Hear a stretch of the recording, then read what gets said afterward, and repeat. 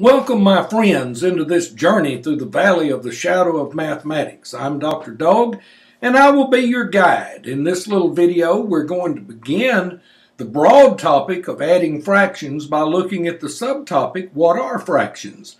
Love this little quote down here on the bottom that says a guy gave back a two and a half million dollar gift because he hated working with fractions. Man, that really is hating fractions. Well, you may be asking yourself, what are fractions anyway? Fractions uh, are going to require a little foundation before we can understand them. To understand what fractions are, let's begin with an examination of whole numbers. Whole numbers are ways of counting things that are alike. And I want you to count these. Let's start here. And I, I, am reminded as I begin this of one of my favorite characters, the Count on Sesame Street. Ha ha ha ha. Okay, here's one, two, three. We have three guys here in this video. Let's let's count these. Let's see. One, two, three, four, five, six. We have six people. Did you count six people?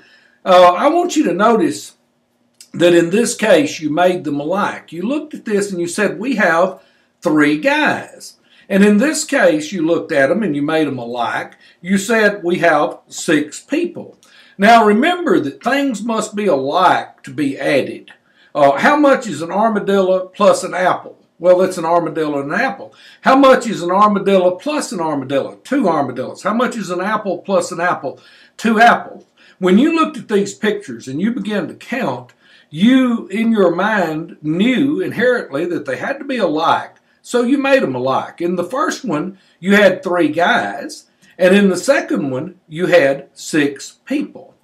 Now, let us consider the number one as we've come to understand something about whole numbers, one right here and the number one right here. Obviously, we began our counting of whole numbers and, and of each of these groups with the number one. So number one is a very, very important number in mathematics. The number one represents one whole object. And here we have the number one written out in symbols, and we will represent it with a picture. And, and what if we had to want to have a part of the whole? Now, before we go back to that having a part of the whole, I don't want you to miss this. Uh, I want you to understand that mathematics is a language of symbols. Do you see this symbol? When you're working with mathematics, you're, you're kind of like a spy because you're working with code that not everybody can read. And, and if you really get good at this, you can amaze your friends and, and, and amaze your parents and grandparents and just really, I mean, be something special. Math is fun, but it's working with a code. This symbol stands for one unit, one, one thing. And here I have chosen to represent that thing with a picture of a round circle in 3D. That is one object. And again, we might ask ourselves, what if we won't have a part of the whole? I remember many years ago when my uh, two sisters near to me in age and I had, had uh, found a, uh, a couple of pop bottles beside the road, and we took them to the store and we traded them in for the deposit. Guys, that's that's what old people used to do because they had deposit on those bottles, and and we bought a Coke and we bought this little Coke, and we had one Coke, and there was three of us. Well, we had to divide it up, didn't we? Each of us had to take a part. Of course, I was the oldest, and I divided it, and I got the biggest part. I've always been good at math. And what if we want to have part of a whole? Uh, fractions are a way of representing part of a whole. Now, don't let this scare you. You can read this several ways. It can be read as 1 over 3. It could be read as 1 third, the fraction. That's sometimes used as its short name. This is a symbol. Just like the number 1 is a symbol, the number 1 over 3 means things to mathematicians. Now, the number 3, which is down on the bottom, tells how many parts the whole is cut into. In this case, the whole would be cut into three parts. Uh, the top number tells how many of those parts we have. Now let's go back. It's cut into three parts and we have one of those parts. Let's represent that with a picture. Do you see that this picture, the, the whole that we had, is now cut into three parts? and I will quote my hero, the Count, off of Sesame Street. One, ha ha ha ha. Two, ha ha ha ha. Three, ha ha ha ha. Three parts. So we have three parts. This is how many it's cut into. Now, only one of those parts is red. So if we look at how much of this whole is red, if we cut it into three equal parts, then one of them is red. So one third, or one over three, the fraction one third, one over three, parts of the whole are red. That's really not too bad, is it? Here we have a fraction 2 fifths, 2 over 5. The, the 5 down on the bottom tells us how many parts the whole is cut into. It's cut into 5 parts. To quote the count, 1, ha ha ha ha, 2, ha ha ha ha, 3, ha ha ha ha, 4, ha ha ha ha, 5, ha ha ha ha. It's cut into 5 equal parts. That's what the bottom number of a fraction tells us. Now, remember the top number tells us how many we have. Two of those parts are red. One, two of those parts are red.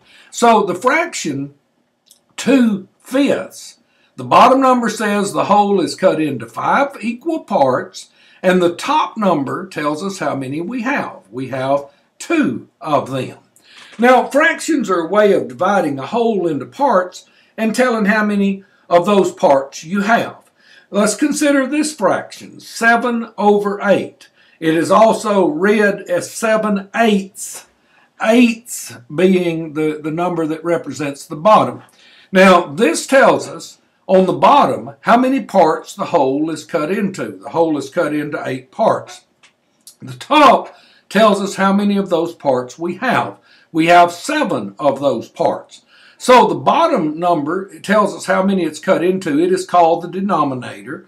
The top number is called the numerator. Now you may ask yourself, why do they use names like denominator for the bottom and numerator on the top? Well, that has something to do with the mathematicians work. We like working with symbols, which are codes that not everybody can understand. So we give them kind of difficult names so that not everyone knows what they are. You now know that the denominator is the bottom number, which tells us how many parts the whole is cut into. The numerator is the top number, which tells us how many we have those parts we have. Go ask your grandparents or your parents or your friends, what's a denominator? And when they don't know, you know what it is. It's how many parts the whole is cut into, and the numerator is how many of those we have. Remember that. The denominator is how many parts the whole is cut into. In this case, the whole is cut into eight parts. The numerator is how many of those parts we have. We have seven parts. It's cut into eight parts, and we have seven of them. Now, isn't that cool? The denominator is the bottom number, which tells how many parts they're cut into, and the numerator is the top number, which tells how many of those parts we have. Now let's go back and visit our old friend 1. It, it is a whole number, which can also be written as a fraction. Remember this picture? This is what 1 is, one whole object. Now we can cut it into parts, can't we? Make fractions out of it. But let's look at this 1 just a minute. We have one whole unit. Now, this whole unit is cut into how many parts? Well, it's not cut into parts. It's, it's cut into one part. It hasn't been divided up, so it is one part. And how many of them do we have? We have one of them. So if we want to write this as a fraction, the number 1, we can write it as 1 over 1. And what that means is that it is cut into one part, and we have one of them. Any whole number can be written as a fraction. I want you to consider the number 3 just a minute. 3 is a great number. Now, the number 3 could be represented as three whole units. Do you see them? Now, let's, let's do the counts thing, which I love doing. One, ha ha ha ha.